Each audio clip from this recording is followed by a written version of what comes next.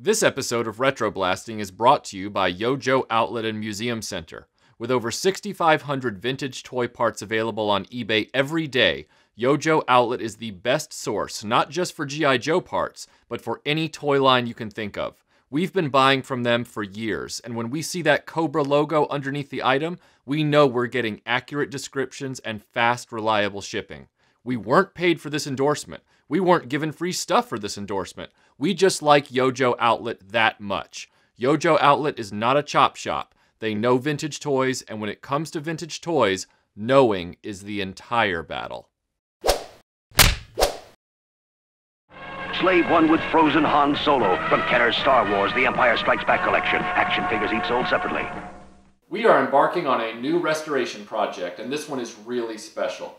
If you remember a few months back, we did the Imperial Troop Transporter, and it was owned by Tom Burgess, the founder of iGrewUpStarWars.com.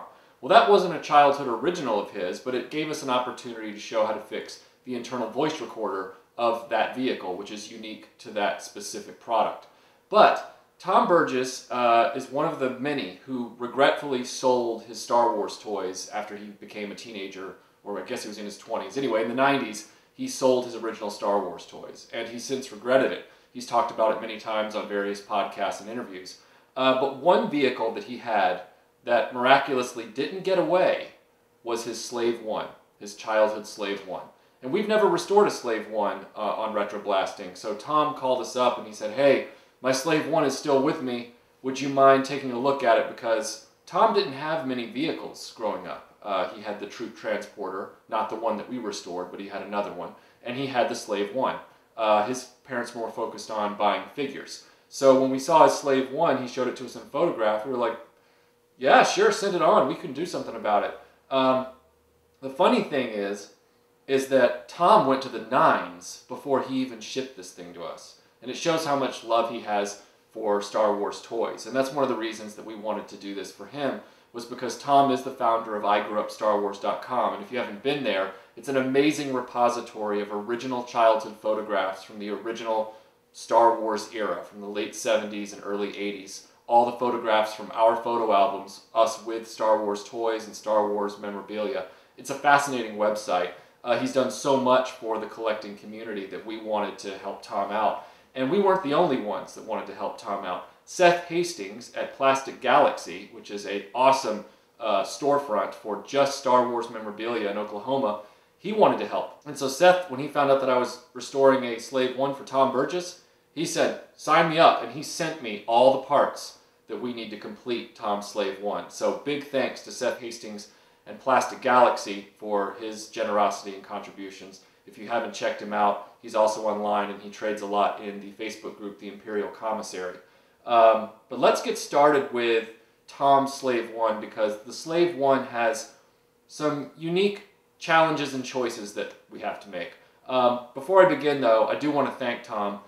He went to the nines cleaning this thing up. He loves Star Wars toys so much and you can tell I don't have to scrub one thing on this toy. Like he really knocked it out of the park. I mean, you're not going to see any toothbrushing or soaping or cleaning of this thing. I mean, it is immaculately clean, which is great because that means we can get to the interesting stuff. So let's get started.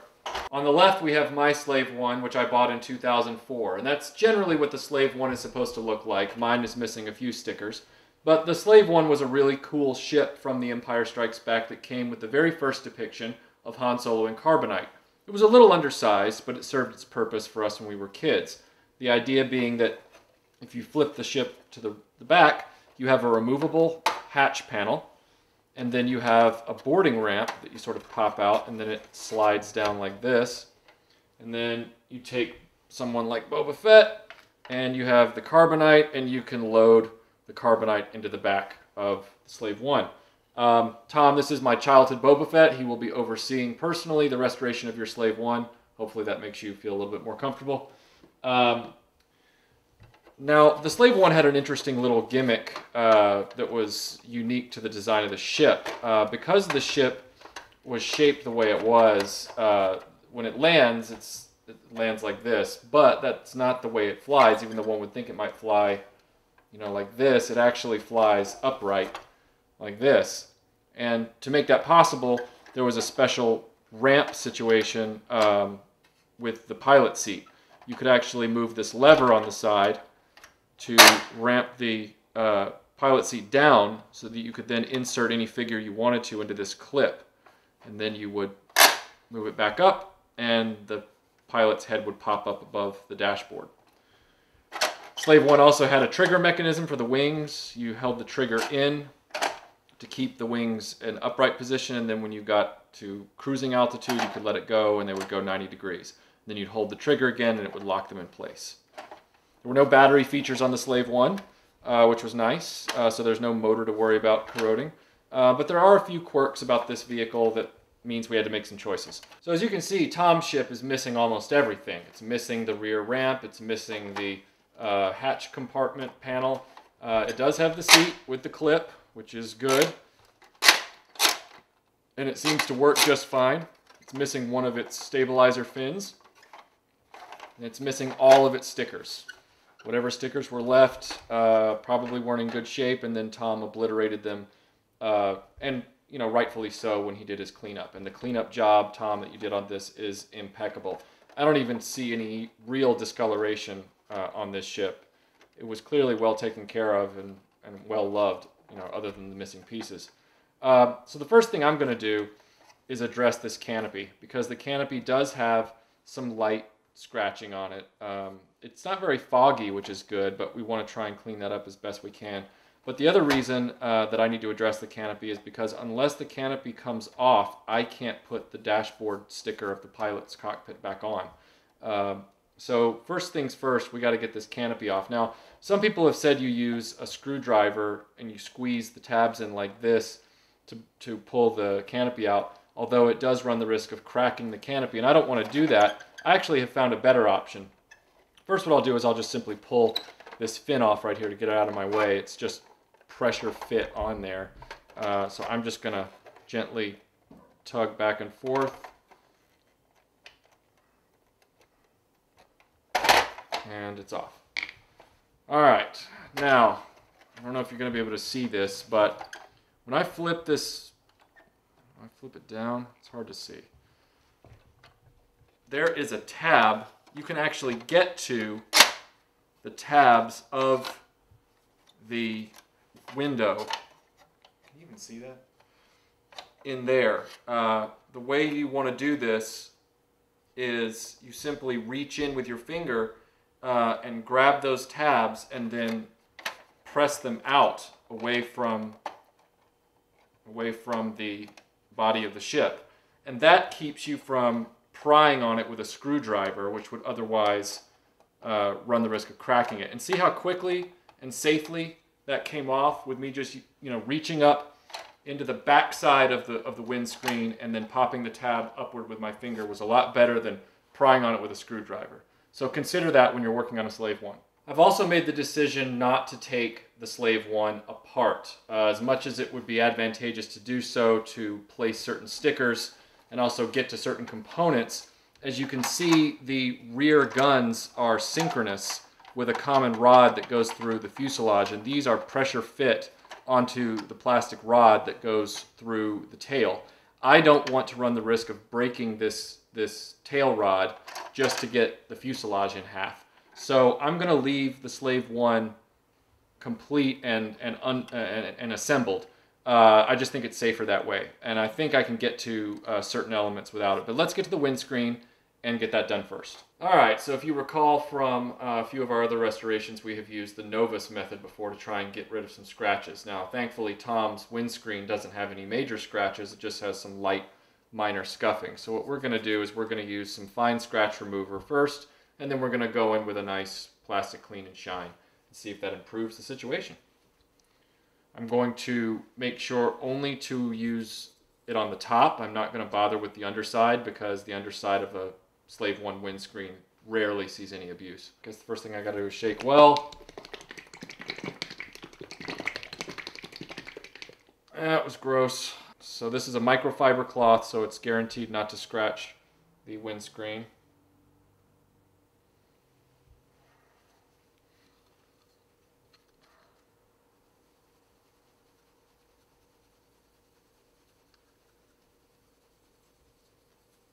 Don't know if the results will be flawless, but if the Night Raven was any indication, they will definitely be superior to what it looks like right now. The amount of work that we go through to keep these mass produced toys in good shape is a testament to our generation, I'm telling you. So after about two or three applications of Novus number two, I've made a significant improvement to Tom's canopy. The scratches have really been minimized. I think he's going to be really happy with it. And it's going to look great when it's displayed back on the ship. But I want to keep it separate for now for two reasons. One, I still have to deal with an issue with the internal mechanism of Tom's Slave 1. And two, I want to leave it off so that I can effectively sticker the cockpit. So let's get started on that counterweight problem. All right, so you see that rusty orange area in a cage on the right? That is actually a metal counterweight that allows the stabilizing fins of the Slave 1 to automatically rotate into place when you release the trigger. And as you can see, it started to rust on Tom's. Um, this is probably just due to the fact that it was exposed to some kind of latent humidity or moisture over the last 35 years.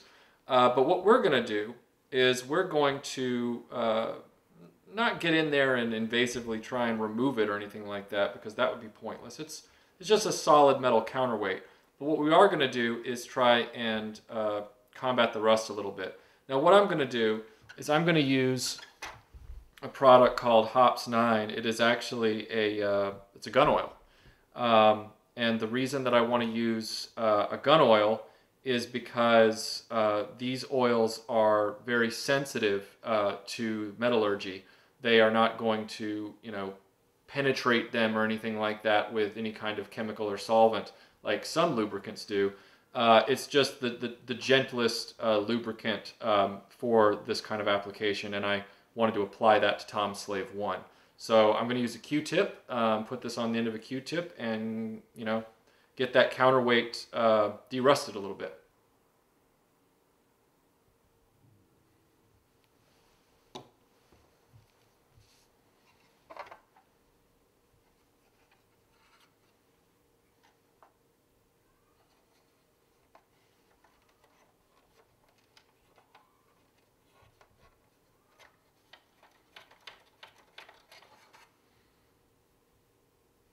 Some nasty rust coming off that thing.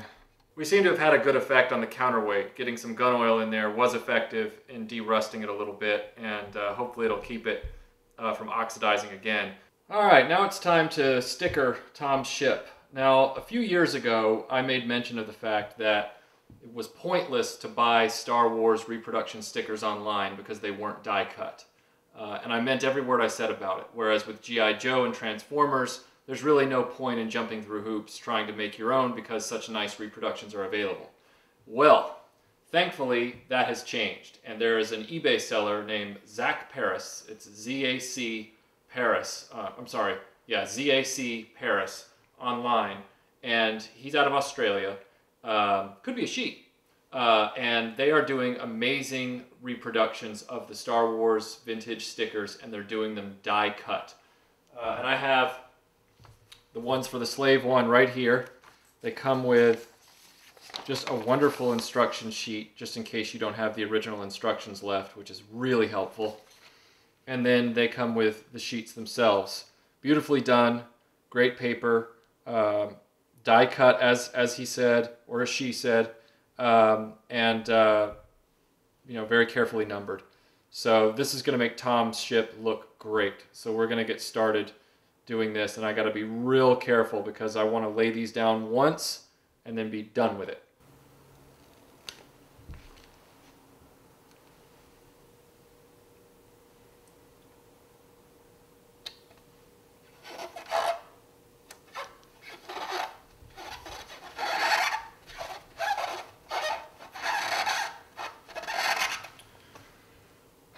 First one knocked out and we can put that glass back on.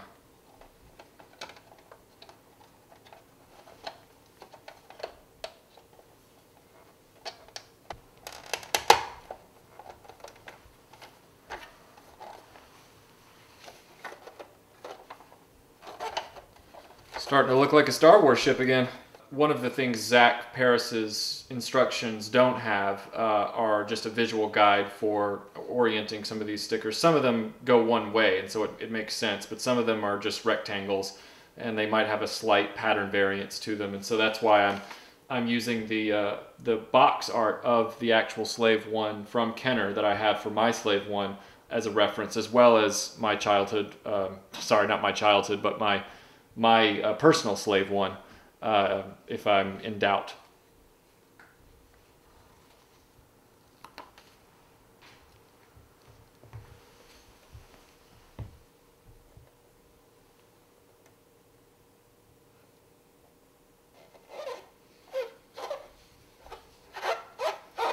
You really want to be careful anytime you're putting down stickers, whether they're vintage originals that you've resprayed uh, or whether they're you know reproductions uh, because you don't want to have to pull them up again uh, because you made a mistake. You want to lay them down once and then forget about it. The big advantage to die cut stickers is that you don't have to worry about cutting curves, which is a real problem, such as you know these perfect circles that became the engine uh, the engine details for the Slave One. It's almost impossible to cut a perfect circle unless you've got a special tool. So the, these die cut stickers are a real godsend. And this is the last sticker that's going to go on Tom Slave 1 is the large uh, tail sticker that goes right over the main seam. Uh, as you can see from my Slave 1, this sticker is a real problem point um, for the toy. It tends to start to creep up and you know, dog ear and things like that. So it's good to, to get a replaced uh, sticker for Tom's ship. The idea, of course, being that you, you carefully lay this down, you match it up to the edges of the of the panel, and then hopefully you don't have to do this again.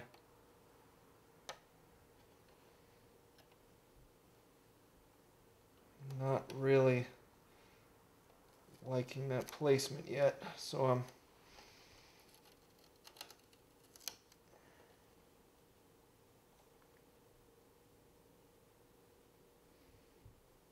want to get this right.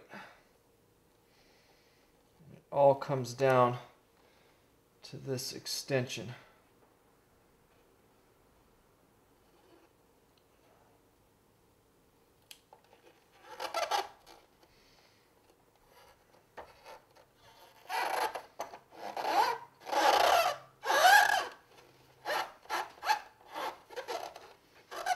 Perfect.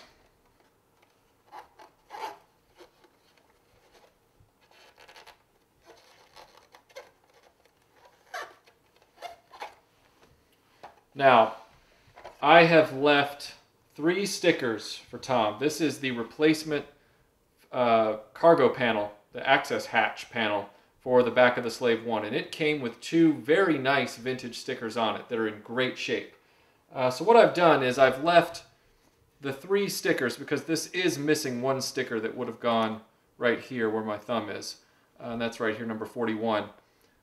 I'm going to leave these three stickers for Tom. Because if Tom decides that he would like to remove these two vintage stickers and put on all three of these as a sort of finishing touch for his childhood slave one, um, that's for him to do.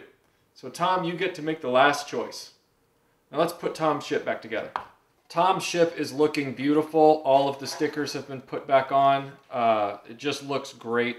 Um, you know, Zac Paris does an extremely good job with uh, these sticker reproductions. And now that they're die cut, I can't recommend them enough. Uh, but now we get to move on to someone else whose skills uh, with Star Wars are impeccable, and that's Seth Hastings and Plastic Galaxy. Seth has kindly provided us with the missing uh, stabilizer fin, the uh, access ramp, the cargo hatch, and the carbonite block for Tom's childhood Slave One survivor. So let's get all these back on the ship. Uh, the notches uh, on the stabilizer fins face forward, uh, on the slave one. This is Tom's childhood original. So we're going to slide that underneath and just very gently but firmly press it until it snaps. Snaps in, not snaps off. Now we'll get the one here donated by Plastic Galaxy.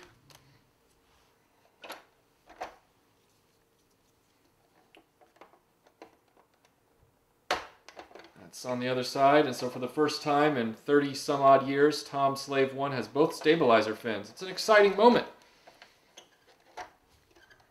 Okay, so now we'll do access hatch, and you want to be careful with this piece because it has two guiding pins that are integrated into the mold. Obviously, these pins can break off and often do, so you just want to be careful when you're sliding them into uh, the grooves here. I'm going to start from the top and see if that works. Yes, so if you if you bring this ramp all the way up to the top beyond the grooves and then you line up the pins, you'll be able to slide the ramp in just fine.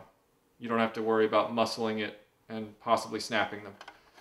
So there is the access ramp.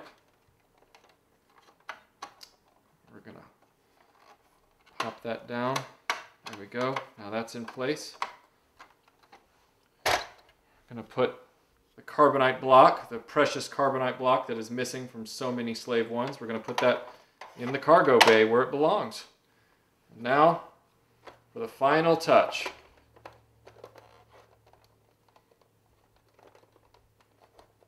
Looks